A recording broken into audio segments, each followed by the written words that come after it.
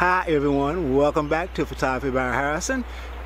Although we got tornado warnings today, we did not receive any tornadoes or any storm damage, so we're fortunate for that. So we're just going to take a quick walk through the neighborhood, look at some flowers, look at some raindrops, and let our imagination just run wild. So with that being said, pick up your camera, make sure you also pick up your imagination, and come along with me.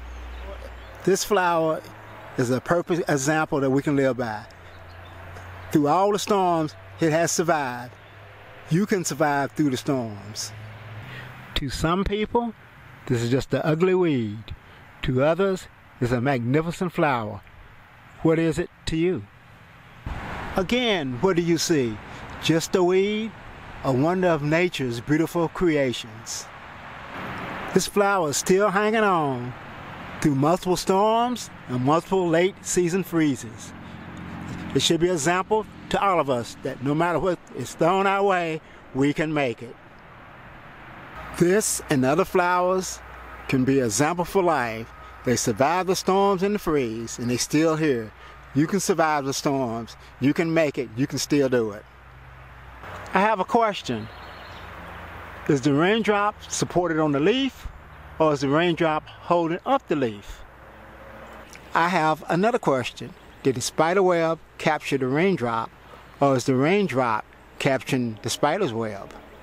It is said the answer is blowing in the wind. What answer do you hear? It has been said there's an entire universe inside of a raindrop. Well, think about it. Here on Earth, aren't we just a raindrop inside the universe? A different raindrop, a different universe. I wonder what we would find if we could explore inside it. Tell me, what do you see?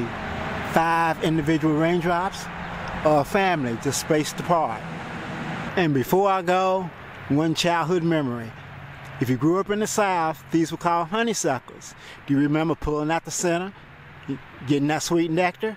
I do, and I think I'll do it again. Well, I want to thank you for coming along with me on this short walk through my neighborhood, through my imagination. Now I want you to go down to the comments and tell me what you saw in your neighborhood just using your imagination, of course, your camera.